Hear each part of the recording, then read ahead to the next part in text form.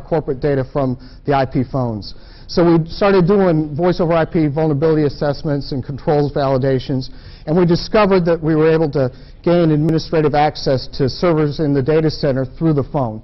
So we did a, a, a security focus article where we kind of detailed it a little bit, where we could go into a hotel that had voice over IP, plug into the hotel phone, and get into their corporate network and record the phone calls of the president, for example, get into their um, accounting system, all that kind of stuff, through a network that was supposed to be logically separated and secure from their corporate network.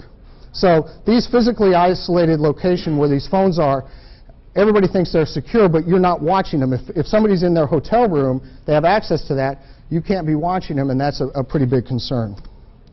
So uh, this is the tool. This is a screenshot. Uh, it's available on SourceForge, and you'll see that later. This is a new version done just uh, for ShmooCon. We showed the version 1 at TorCon uh, last year, and this is a brand new version that Jason's been working on for the past few weeks to demonstrate specifically to you. So I'm going to turn it over to Jason Ostrom, author of VoIP Popper. What up? I'm Jason. Give me here. That doesn't work, so you just have to speak loud. So I'm going to show you something that I haven't shown anyone before, something I'm really passionate about. Uh, the Woot. the uh, the genesis of, of this tool, VoIP Popular I wrote. In essence, this tool is just a um, basically it tags an Ethernet frame header, the voice VLAN ID, and does a VLAN hop. So it's basically a VLAN security test tool customized uh, to VoIP environment.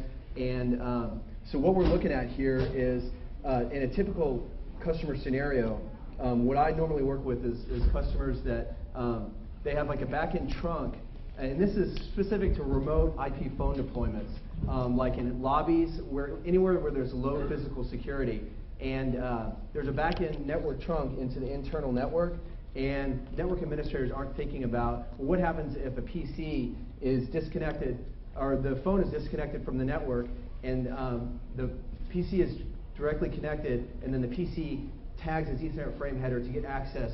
And uh, a lot of customers are not even doing uh, the proper filtering like a firewall at these remote locations. So once you're a phone, you have full access to the network, and that's what we found here. Like I said, um, we're tagging the Ethernet frame header, um, and there's some stuff that we're doing in the beginning uh, for the voice VLAN discovery. We're really attacking the network infrastructure, the um, device discovery protocol that's used, CDP, and then we're going to talk about Avaya. I'm going to have to go through this really quick. This is really about attacking the network infrastructure security. I want to be clear on what this is. Poor network design. Um, it's not about exploiting Cisco Unified Communication Manager or the, exploiting the Avaya platform. Um, these are the specific threats that I see. Once a PC gets access into the voice VLAN, there's never a good reason for that to happen, in my mind. And uh, so you can do denial of service against IP phones. That's trivial. There's myriad tools out there to do that. Um, if the firewall is properly implemented, there's going to be certain ports that have to be open in order for the IP phones to talk to the, uh, the PBX.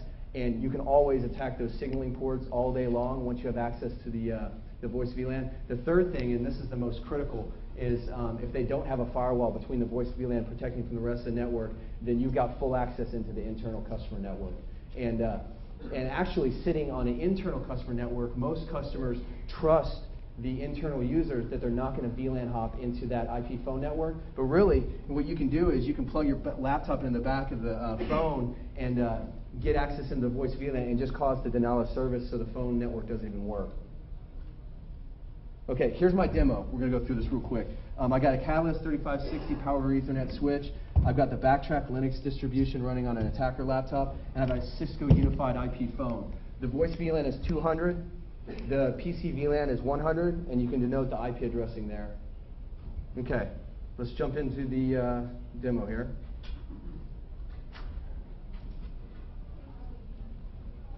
Okay, the first function of VoIP Popper is if you're a network administrator, you can easily just test the VLAN security if you already know the VVID, the voice VLAN ID.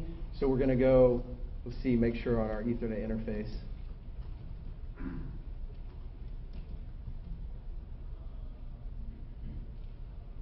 Where it's uh, E0. So we go VoIP Popper, specify the interface, and then the VLAN ID I already know is 200 since I'm a network administrator. So uh, There we go. We're in the voice VLAN. We got 200.0 network. So we see, let's do an IF config. And we see that we have the, uh, the newly created voice VLAN interface. So VoIP Hopper ki- is um, in the voice VLAN right now. Now, one new, new feature that I did for, for this uh, presentation is I created a, uh, where you could, basically a feature where you could delete the voice VLAN interface, so you can easily test this and you can script in between this. So all day long, I can um, create the new interface and then delete it, okay?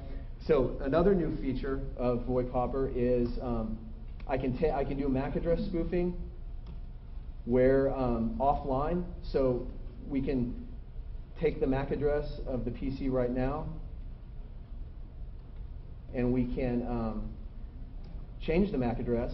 Like if I don't want to connect to the Ethernet port before I've spoofed the MAC address, then I can just do this.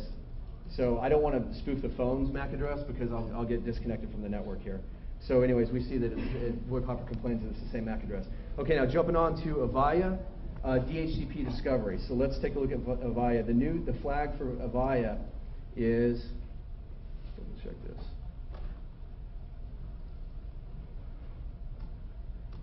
Okay, the, this is the Avaya flag, and when, I'm going to show what it does here.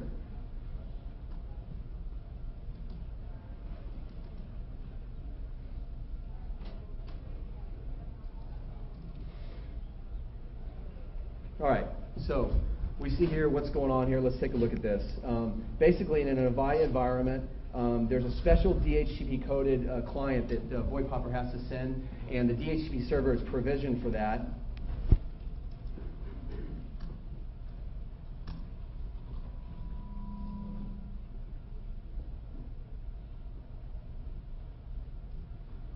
Right here we see. So this is my DHCP server configuration here. And basically, the fascinating thing about this, and I think it's really an elegant solution, is Avaya has it configured where this custom DHCP client is sent, it requests the uh, option 55 in the parameter request list, and then the DHCP server responds back with 200. Um, I could show a, a packet sniff on that, but I'm, I'm running out of time on this, so I'm just going to skip over that. But I will say that my favorite gem uses Avaya IP telephony, and I'm really fascinated about going in there and doing like a social engineering where I can pretend like I'm the phone, you know, custom repair guy. Uh, but I think I'd be thrown off by the cute girls in the gym, so um, it's, uh, it's always nice when I'm the only person in the room that finds something amusing.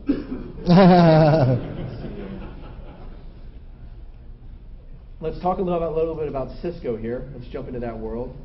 Um, this guy right here, we were working on a uh, 802.1x bypass. And basically, this is the new feature of VoIP Hopper. Uh, Cisco, basically, 802.1x enabled ports along with voice VLAN feature, um, you can bypass that via CDP. So let's go ahead and plug that in and do this really quick here. You got 40 minutes or 30 minutes. Okay. So the phone, I'm going to plug into port 2.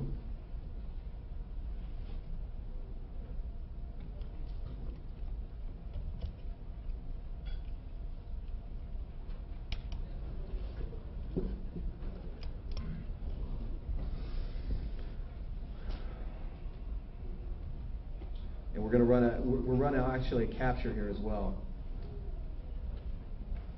We've been disconnected here. Okay, so now we see here that the switch has recognized the IP phone and it's now operational on the port. Now I'm completely locked out of the, of the um, attack machine. You can't see anything because we've got, let's take a look at this port configuration.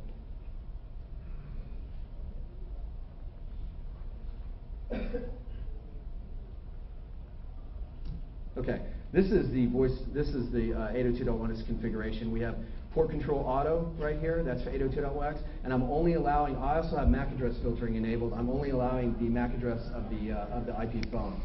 So I'm going to go ahead and run this right now.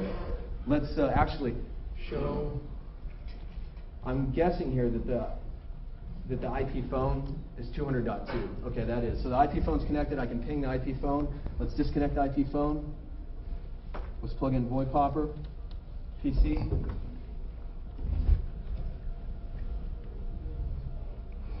VoIP Hopper is part of Backtrack 3, too. It's Look at being that. compiled on that. Ports configured is now operational. VoIP Hopper is only connected. See, we have the phone totally disconnected from the network, and.